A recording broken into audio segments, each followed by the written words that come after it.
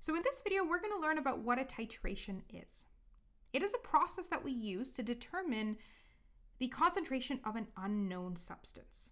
And the titration is a method that we use that involves neutralization reactions. So if you remember from when we learned about acids and bases, a neutralization reaction is a reaction between an acid and a base that produces water and an ionic salt. So this reaction between an aqueous solution of a strong acid and any aqueous solution of a strong base forms a neutral salt and water. So if the molar amounts are balanced, and what I mean by that is that there are equal numbers of aqueous hydrogen ions and aqueous hydroxide ions, right? So the hydrogen ions coming from my acid and the hydroxide ions coming from the base, that is that all the acid and all the base will be neutralized, right? And when all of the acid and all of the base are neutralized, you end up with a result of a pH of 7, right? So a neutralization reaction occurs between an acid and a base, and in our course, we're only going to take a look at strong acids and strong bases reacting together. So if you have equal amounts of acid and equal amounts of base, you will end up with a completely neutral reaction, right? So if our hydroxide ions and our hyd- um, hydrogen ions are equal, there are equal numbers of those, you'll end up with a neutral solution, a solution that has a pH of 7. So there are a few key terms, right? So we talked about, or we mentioned the word titration. So, the titration is a procedure that we use to determine the concentration of a solution by reacting a known volume of that solution with a measured volume of a solution that has a known concentration. So, you've got an acid and a base. One of them is going to have a known concentration and known volume, and you're going to add the other into that known concentration and known volume to figure out how much it'll take to neutralize it right? So in a titration, the concentration of one solution is determined by quantitatively observing its reaction with a solution of a known concentration called a titrant. So of the two, the one that you know the concentration of, that is called the titrant. During a titration, an acid base indicator is often added to the solution to help indicate the pH, right? So as you're adding your unknown concentrate, that, that solution that contains the unknown concentration, as you're adding it, you want to see when the pH is changing. And in order for you to visually see that, you're using an acid base indicator. So when you're trying to neutralize a solution, an indicator such as phenolphthalein, so that's a specific indicator that we're going to use in um, the titrations that we see, is chosen because it will change color very close to the equivalence point. Right? So the equivalence point is when the moles of the acid are equal to the moles of the base. So when you get to that equivalence point, you will see an in the indicator change the color of that solution, which means that you know that that equivalence point is close. The point in a titration when the indicator changes color is called the end point. So in order to perform this procedure, you have a few materials that you need. These materials are used specifically for titrations. So these are a burette, the titrant, an Erlenmeyer flask, a solution of unknown concentration, and some indicator. So the setup is like this, right? So you've got a stand here, and I'm sure that you've seen these in a lab setting. And at the top, you have the burette. So this long tube-like substance that you see is your burette. And you'll notice that this little knob here allows you to control how much of this solution goes into the Erlenmeyer flask, right? So you can open it such that there's a lot of it going, or you can close it such that only one or half or even a quarter of a drop is falling into the Erlenmeyer flask, right? So in the burette, you have the titrant. And the titrant is the solution of known concentration. So we know the concentration of the titrant, and that always goes in the burette, right? And this blue liquid that you see here is the titrant, which is of the two solutions, the one that you know the concentration of. And as I mentioned, the tap of the burette allows a person to precisely control the amount of titrant being added to the solution in the Erlenmeyer flask.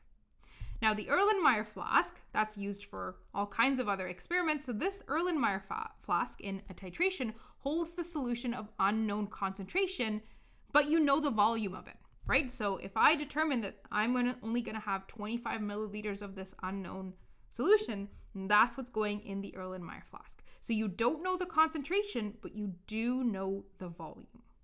So the solution of unknown concentration with an indicator is placed in the Erlenmeyer flask. Right? So you have this setup where you have the unknown concentration solution in the Erlenmeyer flask and the solution with the known concentration in the burette. And as you add in, you're going to slowly add in, you're going to see when it changes color. So another important thing that I forgot to mention is that in the burette, these lines allow for you to measure how much of the titrant there is, right? So for example, if this is the 40 milliliter point, right? So if you're measuring 40 milliliters, obviously after you let some of that titrant into the Erlenmeyer flask, that's going to change, right? So obviously after you add in 10 milliliters, you're going to end up with 30 milliliters left over, right? And because that change has occurred, you know that you've added 10 milliliters into the Erlenmeyer flask, right? So you're very, very carefully. You're controlling how much of this titr- uh, titrant you're adding into the Erlenmeyer flask. Now, there's this video on D2L. Um, I want you to watch it, and they very they go through the steps of a titration very carefully. It is very, very valuable that you watch it so you can understand what is happening. Oops, I'm not going to play it, but it is on D2L for you to watch. Now let's take a look at a calculation for a titration problem. And this is actually nothing new, especially a question like this, because we've seen these already, right? We've seen these when we did stoichiometry. This is exactly what we did. So, so I've got sulfuric acid reacting with sodium hydroxide, right? So H2SO4 plus NaOH gives you, now this is a neutralization reaction, so I know this produces Na2SO4 plus H2O. This is liquid, this is aqueous, this is aqueous, this is aqueous, and I'm going to balance this by putting a 2 here and a 2 here. Now I'm told that I have 13.84 milliliters of sulfuric acid. When I convert this to liters, I'm going to get 0.0113 sorry, 0.01 384 liters of H2SO4. And I'm also going to have 0.02500 liters of NaOH. And I have concentration of NaOH as 0.100 moles per liter. Now, all they're asking us is what is the concentration of H2SO4? Now I've got the volume and the concentration for NaOH, and I've got the volume for H2SO4. Now this might look very familiar to you because this is a stoichiometry problem, right? So if I have the moles, um, moles per liter and the volume of NaOH, I can use that to find the moles of NaOH, use the mole ratio to find the moles of H2SO4, and use that to find the concentration of H2SO4. Okay, so let's start with that 0.02500 liters of NaOH. Again, if I want to find the moles first, I need to write the concentration such that the liters cancel out 0.100 moles of NaOH. So this way my liters will cancel out. I've got moles of NaOH left over, but I need to find the concentration of H2SO4. So I need to find the moles of H2SO4. Because of my balanced equation, I know that 2 moles of NaOH reacts with 1 mole of H2SO4. So my moles of NaOH will cancel out. I've got moles of H2SO4, but I need to find the concentration, which is moles divided by liters. I've got the moles here, but I need to divide by the liters. So 0.013 0.84 liters. And because I, I already have my required unit as moles in the denominator already there, I'm just going to put a 1 there, right? So the units that I end up with are moles per liter. So when I type this all into my calculator, 0.025 times 0.1 divided by 2 divided by 0.01384, I will end up with 0.0903. Now let's take a look at sig figs here. This gives me, this has four sig figs, this has four sig figs, and this has three sig figs. So my final answer should have three sig figs, sig figs as well, 0.0903 moles per liter of H2SO4.